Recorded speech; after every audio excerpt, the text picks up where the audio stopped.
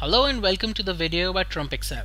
I am Sumit Bansal and in this video I will show you how to insert a new line in the same cell in Excel. So here in cell A1 I have the text good morning. Let me zoom this a bit. And what I want is to move the second word to a new line in the same cell.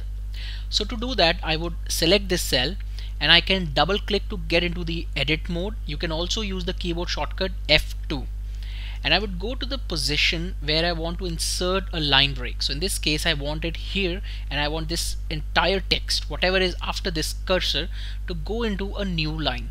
So I would use the keyboard shortcut Alt Enter and as soon as I do this Excel would insert a line break it would automatically put any text after this cursor in a new line in the same cell. So now if I press enter you can see that I have good here and morning here.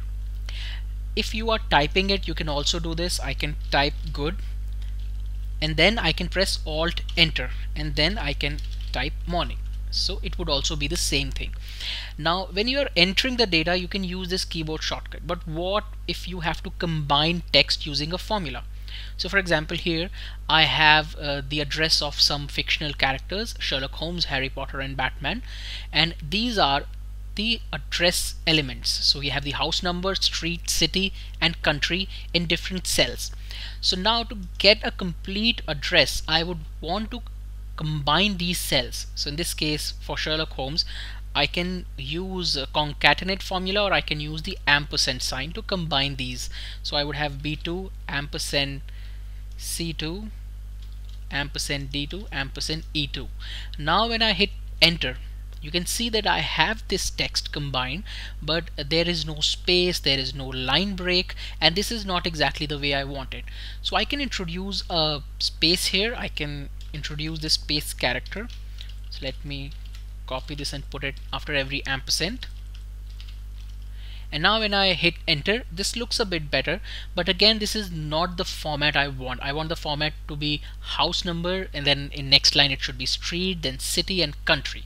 So if you are using formulas to combine text you can use this technique where instead of a space character you would use char 10 now this introduces a new line. If you're using Excel in Windows if you're using it in Mac then you can use char 13 and just by simply using this character this uh, formula you would see that it would introduce a line break in the formula result. So now when I hit enter you still see the same thing but see what happens when I wrap text. As soon as I click on it you see that it has introduced line breaks. It is very important that this option is enabled uh, the text is wrapped else it will not work. So in case if I remove this you would see that it does not work. It would not matter if you increase uh, the row height or everything it will not work. You will have to wrap text. And you can do the same thing with all these other addresses as well. And you can see instantly it has introduced line breaks wherever you have specified.